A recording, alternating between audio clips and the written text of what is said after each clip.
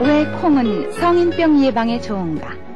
콩 속의 리놀산과 리놀레인산은 필수 지방산으로 혈액에 섞여 있는 콜레스테롤을 저하시켜 동맥경화, 고혈압 등 성인병 예방에 좋습니다. 또한 체지방의 합성을 막아 비만증을 억제하고 심장질환 등의 식이요법으로도 이용되고 있습니다. 콩으로 만든 식물성 밀크, 베지밀, 아기에겐 베지밀 반, 분유 반,